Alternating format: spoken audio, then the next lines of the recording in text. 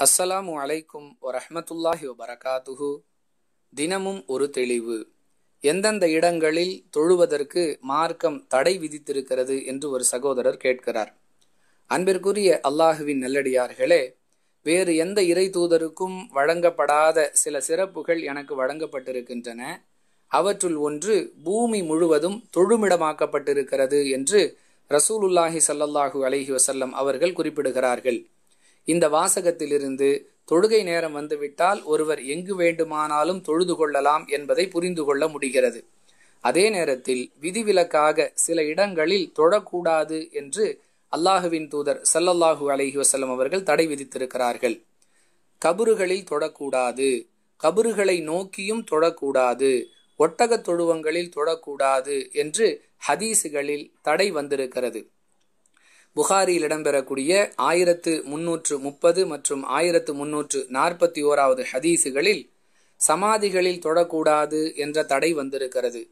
மேலும் முஸ்லீமில் இடம்பெறக்கூடிய ஆயிரத்தி எழுநூற்று அறுபத்தி எட்டாவது ஹதீஸில் சமாதிகளை நோக்கி தொடக்கூடாது என்று குறிப்பிடப்பட்டிருக்கிறது.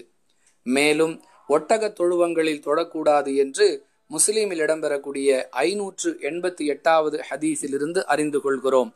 இந்த மூன்று இடங்களில் தொழுவது கூடாது என்று ஹதீஸுகளில் வந்த தடையை தவிர மேலும் சில தடைகள் சொல்லப்பட்டிருக்கின்றன.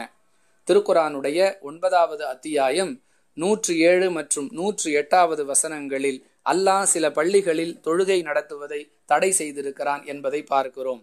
வல்லதி நத்தகது மஸ்திதம் திராரன் என்று துவங்கக்கூடிய அந்த வசனங்களில் நான்கு காரியங்கள் ஒரு இடத்தில் இருக்குமேயானால் அங்கு நீங்கள் ஒருபோதும் தொழுகைக்காக நிற்க வேண்டாம் என்று அல்லாஹ் தடை செய்கிறான்.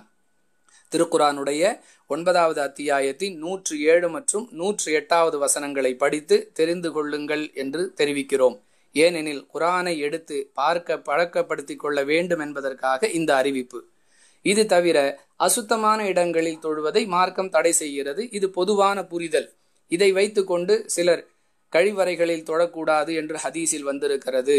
குளியல் அறையில் தொழக்கூடாது என்று ஹதீஸில் வந்திருக்கிறது என்றெல்லாம் பயான்களில் கூறுகிறார்கள்.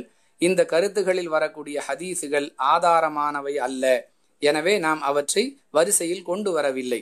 பொதுவான புரிதல் என்கிற அடிப்படையில் தூய்மை இல்லாத இடங்களில் தொழ வேண்டாம் என்பதை நாம் விளங்கிக் கொள்ளலாம். ஹதீஸில் வந்திருக்கக்கூடிய விஷயங்கள் என்று பார்க்கும் பொழுது நாம் மேலே குறிப்பிட்ட இடங்களை தவிர வேறு எந்த இடத்தை பற்றியும் சொல்லப்படவில்லை.